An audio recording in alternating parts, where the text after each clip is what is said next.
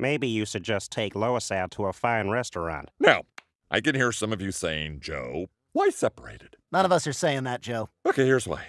Three flavors of popcorn in one tin, and they don't mix unless, of course, you want them to mix. This is a home run, man. Kind of short notice to get a good table at any restaurant. I don't think you appreciate that they don't mix. Your caramel corn stays separate from your cheese corn, which stays separate from your corn corn. You see, in the past, you would need three tubs of corn. Yes, we get it. We know about the corn, Joe.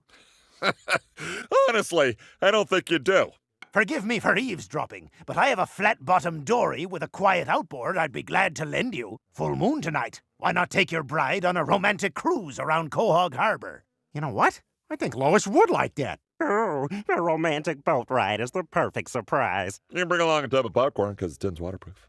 And if you'd like, I could also row up alongside you and play brandy on the accordion. Yeah, no, just a boat, thanks. Ah, I always drive past my exit.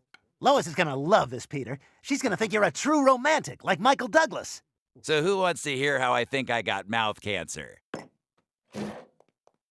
She's, uh, she's heard this one before.